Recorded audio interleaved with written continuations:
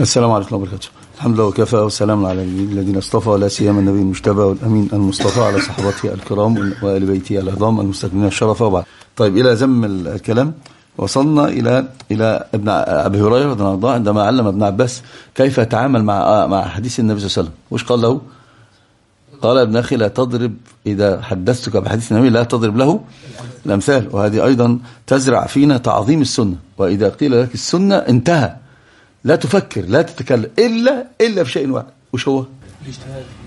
أي اجتهاد مين اللي قال اجتهاد مين اجتهاد مين اللي قال اجتهاد انت إلا إيه؟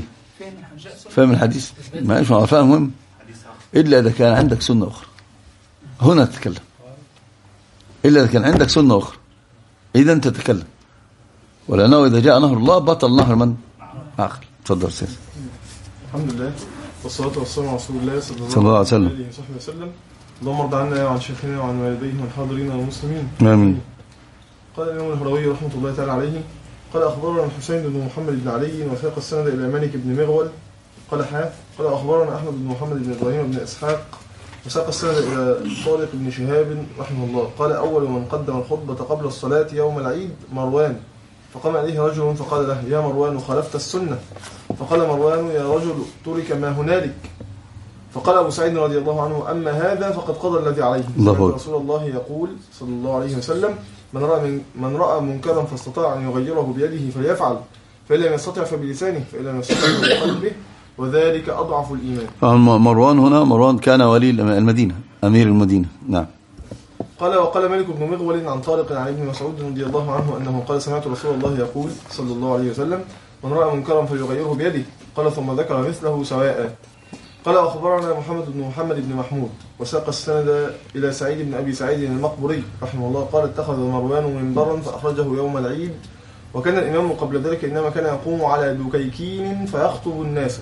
فجاء أبو سعيد رضي الله عنه وهو على المنبر فقال ما هذا يا ما هذا يا الدكان اللي هي الدكة اللي إحنا الدكة. نعم. قال فقال ما هذا يا مروان؟ قال يا أبا سعيد إنها ليست ببدعة. إن الناس كثروا فأردت أن أسمعهم موعظة. فقال أبو سعيد رضي الله عنه سمعت رسول الله صلى الله عليه وسلم يقول من رأى بدعة فليغيرها فإن لم يستطع أن يغيرها في الناس فليغيرها في نفسه.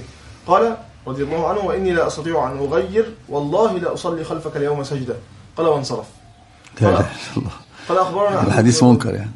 نعم. قال أخبرنا أحمد بن إبراهيم النجار في كتابه آه، قال أخبرنا الطبراني قال حا قال أخبرناه لقمان بن أحمد وساق السند إلى أبي نضرة عن أبي سعيد رضي الله عنه أنه قال قال رسول الله صلى الله عليه وآله وصحبه وسلم لا يمنعن أحدكم هيبة الناس أن يقول الحق إذا رآه أو سمعه. قال أخبرنا علي بن أحمد بن خمير خميرويه وساق السند إلى آه، عدي بن علي الكندي رضي الله عنه قال قال رسول الله صلى الله عليه وسلم ستكون أمور وفتن فمن شهدها وكرهها كان كمن غاب عنها ومن غاب عنها ورضيها كان كمن شهدها. الله الله الله الله. حديث حسن هذا الحديث وهذا حديث ورب العزة مرعب مرعب. نعم. قال أخبرنا محمد بن أبي الطيب وساق السند إلى عبد الله بن حسين. قال حياة قال أخبرنا محمد بن عبد الرحمن وساق السند إلى المقبوري عن أبي هريرة رضي الله تعالى عنه أن رسول الله قال صلى الله عليه وسلم من حضر معصية فكرهها فكأنه غاب عنها. ومن غاب عنها فأحبها فكأنه حضرها. نقف هنا في هذا الباب. وحديث وإن كان أسد الإسناد ضعيف هو حسن لغيره.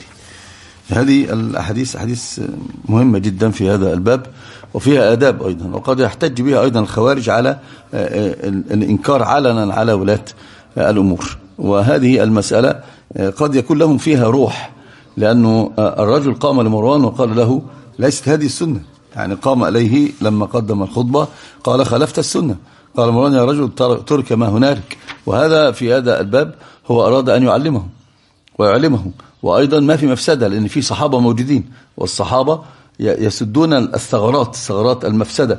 لكن أنت في هذا الزمان لو قمت وفعلت ذلك وضربت عنقك سيضرب أع- أعناق كل من كان خلفك وتكلم بهذا. أو حتى لو فعلت ذلك وهيشت الناس فإن المفسدة أعظم مما تكون. ستأتي البلية على الجميع. وكما قلنا الواقع يشهد بذلك. يعني قبل أن نتكلم بأن هذا الأمر يعرف من مقاصد الشريعة الواقع يشهد بذلك. وأنتم يعني انظروا إلى البلاد التي حدث فيها الخروج على ولاة الأمور وما حدث فيها من منكرات مفاسد ليس لا يعلم بها إلا الله. سوريا إلى الآن تئن. صحيح لكن سوريا أصلا أمر خاص لأنه هذا الكافر ابن الكافر كافر عليهم. فلو قدروا عليه وجوب الخروج عليه هذا واجب. ليس فيه ثمة مأمرية في ذلك. هذا نصيري علوي كافر. وانظروا الآن بقى ما حدث في في باقي البلاد. ها؟ ليبيا تونس مصر مفاسد ما يعلم بها إلا الله وهذا وبعدين افتاءات افتاءات تأتي من الوعاظ. أسالت دماء وسيتحملونها عند الله. أسالت دماء وسيتحمل أنا أقول هنا يتحملونها عند الله. ومن أخرجهم أيضا سيتحمل ذلك عند الله جل في علاه المسألة عظيمة. لكن هنا شوف حتى لما قال له هو الآن مروان طبعا الأمويون ابتدعوا في دين الله. الأمويون أيضا هو هم الذين قصدهم النبي صلى الله عليه وسلم سيكون عليكم أمراء يؤخرون الصلاة. فقال ابن مسعود أصلي لنفسي ثم قال وتسأل؟ وتسأل؟ بعض ما يقولون كانوا يؤخرون الصلاة إلى آخر وقتها وده مش صحيح. دينا كانوا يؤخرون الصلاة حتى يخرج وقتها. حتى عمر بن عبد العزيز متأثر بهم وكان يؤخر العصر إلى قبيل انتهاء وقتها. قام له عروة بن الزبير. قال قال إن عائشة قالت كذا وذكر حديث النبي صلى الله عليه وسلم في صلاة العصر. قال انظر ما تقول يا عروة. فقام رجل آخر فبين له الرواية. فقام عمر عمر عبد العزيز من يوم أن علم ذلك التزم في الوقت. طبعا أنا أشوف هنا كان أيضا إنكار على الأمير بينه وبينه. وروى وروى له إيش؟ الروايه وعمر العزيز كان عالما وكان يحترم العلماء. فلما علم أن الحق مع عروة أخذ به وعمل وعمل به. فهو أول من قدم الخطبة قبل صلاة العيد يوم اليوم يوم العيد مروان. مروان طبعا هم الناس ليش ما كانوا يسمعون لهم؟ بصوا شوفوا النصرة لدين الله. لأنهم كانوا على المنابر يسبون علي بن أبي طالب. كانوا يسبون علي بن أبي طالب ويتكلمون بالتنقيص في علي بن أبي طالب. الناس ما كانت تسمع له شوف الله جعل غير قلوب الناس عليه. أنت تأتي على واحد خليفة راشد أصلا مشهود له بالجنة وهو أصلا مش مشهود له بالجنة فقط ابن عم النبي صلى الله عليه وسلم وخاتم النبي صلى الله عليه وسلم وزوج سيد النساء أهل الجنة وأبو الحسن وحسن سيدة شباب أهل الجنة. ما هذا؟ هذا عته هذا عته وسفى فلما فعل ذلك الناس سئموا منهم فلم يسمعوا له. فأرادوا أن أن يجروهم إلى السماع له لهم فجعلوا الخطبة قبل ليش والبدع لا خير فيها. والبدع لا خير فيها. لذلك قام الرجل ولم يسكت. قال قال خالفت السنة. قال يا رجل ترك ما هنالك. ترك إيش يعني؟ تركت السنة تقول ترك ما هنالك. فقال له أبو سعيد الخدري قام بقى أبو سعيد الخدري أو صحابي والصحابي له مكانة وهيبة عند جميع الولاة وما في أفسادة تحدث معه. قال أبو سعيد أما هذا فقد قضى ما عليه. لأن سمعت الرسول صلى الله عليه وسلم يقول من رأى منكم مكرما فما فاستطاع أن يغيره بيده فليفعل فإن لم يستطع فبلسانه فإن لم يستطع فبقلبه. وذلك أضعف الإيمان. يعني قال هذا قام أتى بما عليه. أنه قال له أنت خالفت السنة هذا ليس من السنة. السنة أن تبدأ بالصلاة ثم تخطب. النبي صلى الله عليه وسلم نفسه الذي ينزل عليه الوحي كان يصلي. ثم يقول أيها الناس سنخطب. من أراد أن يستمع فليستمع من أراد أن يمشي فليمشي. فيخيرهم بذلك. ولذلك قال من رأى منكم مكان فليغيره بيده فلم يستطع فبلسانه ولم يستطع فبقلبه. وفي رواية اتخذ مرة منبرا فأخرجه يوم العيد. وكان الإمام قبل ذلك إنما كان يقوم على دكيكين تصغير دكان يعني اللي هي الدكة. فجاء أبو سعيد وهو على المنبر فقال يا ما هذا يا مروان؟ قال يا أبا سعيد إنها ليست بدعة إن الناس كثروا فأردت أن أسمعهم موعظة فقال أبو سعيد سمعت الرسول يقول من رأى بدعة فليغيرها فإن لم يستطع أن يغيرها في الناس. فطبعا هو المنبر أصلا ليس فيه بدعة في هذا الباب. وأيضا المتن يقول من رأى بدعة ده ذكر إيه؟ خليك بقى عشان نشوف الشهر اللي أنت سبته عمل فيك إيه؟ يا بركة. إيه إيه إنت بتهمها مهمة الفصل ها؟ أول مرة لك سريعا كده ما شاء الله. بدعة نكرة في سياق مرة إيه؟ بدعة نكرة في سياق الشر. ليس هذا بس ليس هذا. دقق النظر يمكن تأتي معك أصلا. حاتم. أحسنت. لا فض فوق. ذكر فرض ما فرض عموم. لا قال إيه؟ عم زكروان بس اهم يعني. خايف خايف فاهم؟ فبعد كده لك لا أعرف خلاص انت الموضوع مش همات الفضل هو الحقيقة أنا ما رأى منكرا. من المنكر إيه؟ البدعه فأنا ذكر آه من رأى بدعة. مفهوم؟ ما البدعه أصلا من المنكر. منكرات كثير جدا شبهات شبهات أو شهوات. فهنا ده اسمه ذكر فرد من أفراد العموم. فليغيره. فهنا لكن هنا شوف إيش قال والله لا أصلي خلفك. يرى أنه لا يستطيع أن يغير ذلك. فماذا فعل؟ إن لم تزل المنكر فذل. إن لم تزل المنكر فإيش؟ فزل فقال والله لا أصلي خلفك سجدة. وانصرف. الحديث هذا إسناده منكر وهو أيضا المتن فيه نكارة لم يرد عن سعيد أنه قال ذلك. لكن هنا فيها فيها دلالة واضحة جدا على شوف هنا لابد من إنكار المنكر الذي وطبعا هنا أصلا أصل ما ما يخص الكتاب أن المنكر الذي هنا هو إيه؟ البدعة يقول ذم الكلام. وأصل البدع ترك السنة. يعني إذا أردت أن تعلم علامة أهل البدع تراهم إيش؟ أهجر الناس للسنة يعني من أعظم علامات أهل البدع تراهم أهجر الناس للسنة أو يقول لك, يقول لك أهم سقم فاهم حضرتك؟ وأنت شغال مش يعني الراجل بيتكلم بكلام آه، حتى الاجريجي لا يفهم آه، وبعدين تيجي تتكلم يقول لك أصل آه، كانوا وكنا ووجد وذوق وما في يهجران السنن. من علامات أهل البدع هجران السنن. من من من علامات أهل البدع هجران السنن وأيضا تشمئز قلوبهم عندما يسمعون السنن. تشمئز قلوبهم. يعني أنت ترأهم يتغيظون على ما يقول بذلك. فشوف هنا هنا يعني لما تخالف السنة هذه هذه بدعة. فأبو سعيد ما يسكت عنها. يقول الله تعالى من أن أحدكم هيبة الناس أن يقول الحق إذا رآه وسمع أو, أو سمع. يعني لا لا يجعل الهيبة هيبة الناس أن, أن تسكت عن إيش؟ عن حق. لا على الله. أنت ما دمت تريد الله جل وعلا حتى لو لم يجعل لك الحق صديقا لا عليك. إن الله سيأتي بهم راغمين. يخبرون بالحقيقة. يعني يخبرني أخ في الصفحة أنا ما أعرف أنا ما, ما أدخل. قال أنا شفت آيات معكم. كثير من الناس يرجعون الآن يقولون كنا نتحامل عليك ونحسب أنك تتحامل على غزة. فعلمنا أن ما تقوله هو الحق والصواب.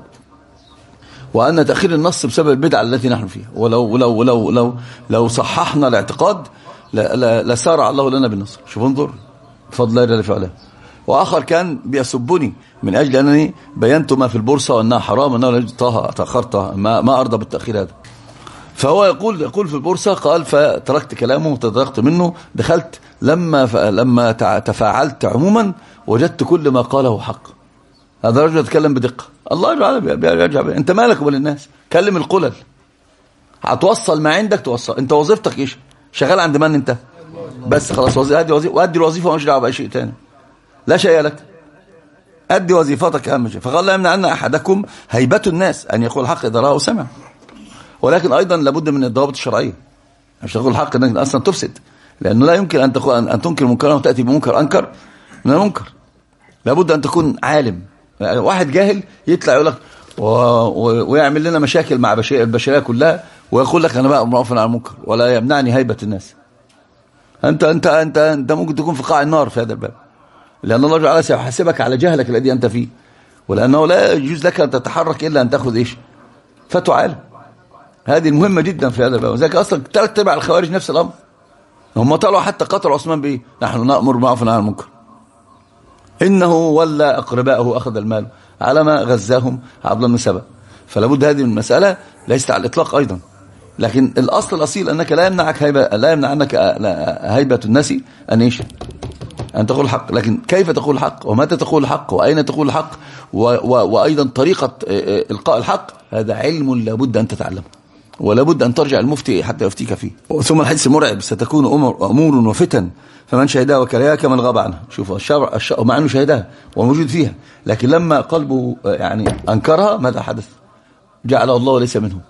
مش فيهم. مع موجود مش فيهم. زي كالذي أكره على شيء وفعله. فعل لكن مكرها. فالشرع إيش؟ هل أعتبره فاعل؟ الذي أكل وشرب نسيا. هل أعتبره أو, أو شارب؟ لا. ف... وإحنا العبرة عندنا بعبرة إيه الشرع العبره في هذا بالشرع فالشرع هنا يحكم على أن من كره هذا كمن غاب عنه.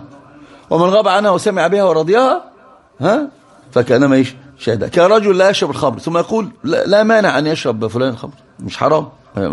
فهذا مستحيل مع أنه لم يشرب. لكنه بذلك إيش؟ إذا استحل كفر. وإن لم يشرب. مفهوم؟ وهنا كما قال وسلم يعني سيكون عليكم أمراء تعرفون وتنكرون. قال قال فمن فمن فمن أنكر فقد برئ ومن كره فقد سلم. إلا من رضي وتابع إلا من رضي وتابع. نعوذ بالله من ذلك. إلا من رضي وتابع. نعم. وحديث كما قلنا حديث حسن وحديث مرعب صراحة في هذا الباب لأنه حكمه على حكم ما كان في قلبه وقصده وما فعل وإنما الأعمال بالنيات إنما كل امرئ ما نوى. نقف عند هذا. الفوائد المستنبطة. طبعا الذي بعده نفس الأمر الناس تكون أمور من رضيها كمن شهدها ومن كرهها ممن شهدها كمن غاب كمن غاب عنها والحديث كما قلت حديث حسن. الفوائد المستنبطة. إن لم تزل من... إن لم تزل المنكر فزل. كل ما خالف السنة فقد ابتدع في دين الله. يبقى إذن لو أردت تعريفا منضبطا للبدع ماذا أقول؟ كل ما خالف السنة فهو بدعه يا طالب العلم قم لا تنم فإن الزمان يا طالب العلم قم لا تنم فإن الزمان انقضى وانصرم. فكن ما حييت ضنينا به فظنك بالوقت عين الكرم. وكن حلس درسك وافرح به. تكن قائدا في غد للأمم وبادر شبابك من قبل أن يقطع عزمك سيف الهرم. ودع ما استطعت فضول اختلاط وأكل ونوم وقول يذم وصاحب نبيلا ولا تكثرن فكم مكثر يا أخي حرم وحقق إذا رمت شيئا ولا تسمن بوهمك ذات الورم رأيت العلوم وأصحابها لدى كل ذي فطرة تحترم. فإن رمت يا صاحبي رفعة بدنيا وأخرى فلذ بالقلم وأخلص لربك واعمل بما علمت وإن تلقى فيه الألم. وصابر وثابر ولا تكسلا فإن الهموم بقدر الهمم. فإن الهموم بقدر الهمم